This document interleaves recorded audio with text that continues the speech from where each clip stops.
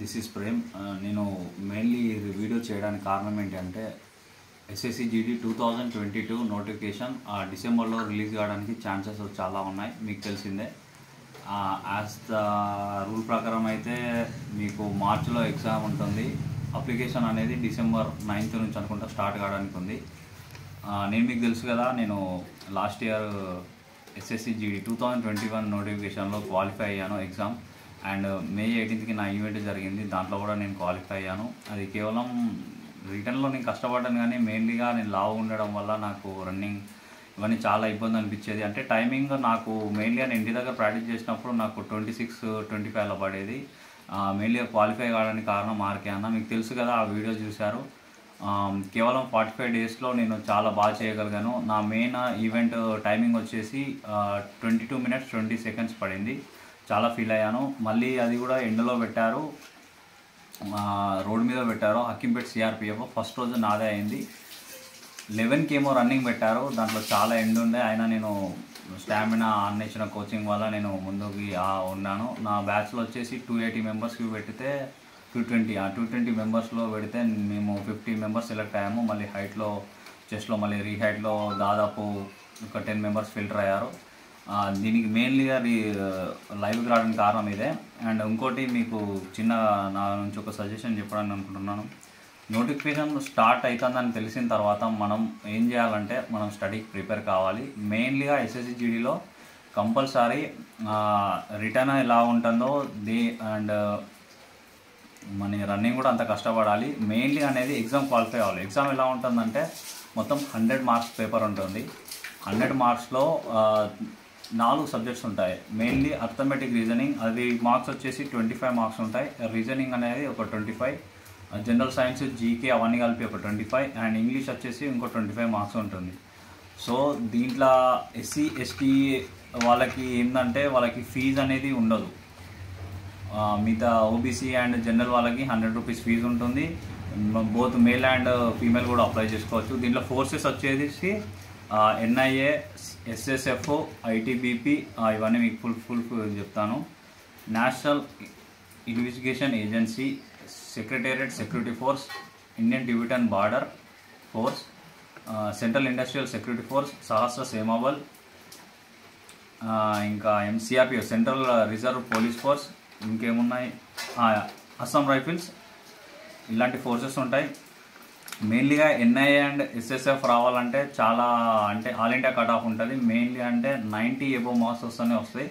మిగతా అన్నీ మనం కొంచెం మామూలుగా మార్క్స్ వచ్చినా మనం గెయిన్ చేయగలుగుతాం. ఈ సిఆర్పిఎఫ్ ఇవన్నీ వీటిని పారామిలిటరీ అంటారు. అండ్ దీన్ని ఎట్లా అంటే సెంట్రల్ ఆర్మ్డ్ పోలీస్ ఫోర్సెస్ అంటారు. సో దీంట్లో జాబ్ అనేది ఎట్లా అంటే సేమ్ సిక్స్టీ ఇయర్స్ దాకా సర్వీస్ ఉంటుంది. Fifty nine so sixty starting preliminary exam ఉంటుంది కంప్యూటర్ బేస్డ్ ఎగ్జామ్ టెస్ట్ ఉంటుంది. దాని తర్వాత ఫైవ్ కేమ్ రన్నింగ్ ఉంటుంది. ట్వంటీ ఫోర్ మినిట్స్లో కంప్లీట్ చేయాలి. అదే ఫీమేల్ వాళ్ళకి వచ్చేసి ఏంటంటే సిక్స్టీన్ హండ్రెడ్ మీటర్స్ రన్నింగ్ ఉంటుంది. ఎయిట్ థర్టీ సెకండ్స్లో కంప్లీట్ చేయాలి. అండ్ దాని కంపల్సరీ మెన్ వాళ్ళు అయితే వన్ సెవెంటీ హైట్ ఉండాలి. చెస్ట్ అనేది ఎయిటీ ఉండాలి. ఎక్స్పాన్షన్ ఫైవ్ సెంటీమీటర్స్ పెరిగి ఎయిటీ ఫైవ్ కంపల్సరీ రావాలి. అండ్ ఎస్టీ వాళ్ళకి ఏంటంటే కొంచెం height one sixty eight and చెస్ట్లో కూడా సెవెంటీ ఎయిట్ అట్లా తక్కువ ఉన్న వాళ్ళు తీసుకుంటారు వాళ్ళకి రిజర్వేషన్ ఉంటుంది. మెయిన్లీ ఏంటంటే ఎన్సీసీ సి కానీ బి కానీ ఏ కానీ సర్టిఫికేట్స్ ఉంటే ఫైవ్ పర్సెంట్ బోనస్ మార్క్స్ అంటే హండ్రెడ్కి ఫైవ్ పర్సెంట్ అంటే ఫైవ్ మార్క్స్ మీకు అడిషనల్గా బోనస్ యాడ్ అవుతాయి. మన తెలుగు స్టేట్స్ వాళ్ళకి నేను చెప్పేది ఏంటంటే ఇది చాలా మంచి అవకాశం. రీసెంట్లీగా ఈ నోటిఫికేషన్ టూ థౌజండ్ ట్వంటీ త్రీలో రావాల్సి ఉంది అసలు. యాక్చువల్లీ టూ థౌజండ్ ట్వంటీ త్రీలో రావాలి కానీ మొన్న నరేంద్ర మోడీ అనౌన్స్ చేసిన దాంట్లో టెన్ ల్యాక్స్ జాబ్స్ అనేది ఈ academy one and half academic ఇయర్లో వేస్తానన్నారు కాబట్టి సో మన only ministry of home affairs home affairs కింద ఇది వర్క్ చేస్తుంది. So one lakh twenty five thousand post దాదాపు ఉన్నాయి. సో మీరు కనుక నేను చెప్పేది ఏంటంటే ఈసారి నోటిఫికేషన్ బల్కీగా ఉంటుంది. అండ్ చాలా అంటే సిఆర్పిఎఫ్ ఈసారి ఎన్ ఎన్ఐఏ ఈ two thousand twenty twenty one నోటిఫికేషన్లో లేదు. కానీ ఈ ఇయర్ వచ్చే ఛాన్సెస్ ఉన్నాయి. అందుకే చెప్తున్నా ఫార్టీ నుంచి ఫిఫ్టీ కే దాదాపు ఒక ఫిఫ్టీ థౌజండ్ పోస్ట్ మనకి uh, రావడానికి ఉంది ఆల్ ఓవర్ ఇండియాలో మన స్టేట్కి వచ్చేసి నాకు తెలిసి ఫిఫ్టీన్ హండ్రెడ్ ప్లస్ పోస్ట్ అయితే కంపల్సరీ ఉంటాయి. టూ థౌజండ్ నోటిఫి టూ థౌజండ్ ఎయిటీన్ నోటిఫికేషన్లో చూసినట్టయితే ఫార్టీ ఫైవ్ ప్లస్ ఇంకా పోస్టులు కూడా పెంచారు. సో నేను అనుకుంటున్న ఈ ఎలక్షన్ టైం కాబట్టి చాలా పోస్టులు అయితే ఉంటాయి. నా సజెషన్ ఏంటంటే రిటర్న్ మీద బాగా కాన్సన్ట్రేషన్ చేయండి. అర్థమెటిక్ మీద జస్ట్ రోజుకి కొంచెం టైం ఒక త్రీ అవర్స్ ఫోర్ అవర్స్ దానికి కేటాయిస్తే కంపల్సరీ మీకు జాబ్ వచ్చే ఛాన్సెస్ బాగుంటాయి.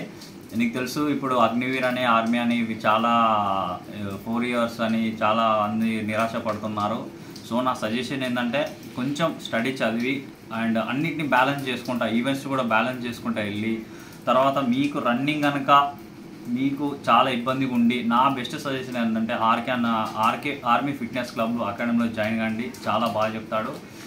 ప్రతి ఒక్కరికి పర్సనల్ కేరింగ్ తీసుకుంటూ వారికి ఎట్లా డైట్ ఇవ్వాలి వారికి ఎట్లా రన్నింగ్ చేపియాలి ఇవన్నీ ఎట్లా ఉండాలి అని చేపించుకోవడానికి ఆర్కే అన్న నాకు తెలిసి ఆయన బెస్ట్ ఆ అకాడమీ బెస్ట్. నా సజెషన్ ఏంటంటే మీరు వెళ్తే మీరు పక్కా సక్సెస్ అవుతారు ఎంత వెయిట్ ఉన్నా పర్లేదు.